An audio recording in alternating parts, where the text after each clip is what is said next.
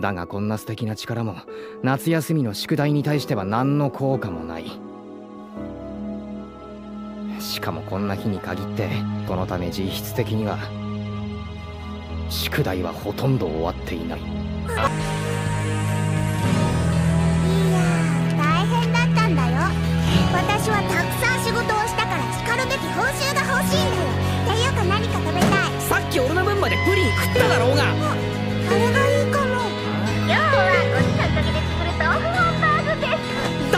デックスをどうするつもりなんだ？くそどこを探せばいいんだよ！決してあんなはつまらない女のためではない。絶対にあんなつまらない女のせいではない。あんたの大切な人は必ず助け出す。そのためにはあんたの協力が必要なんだ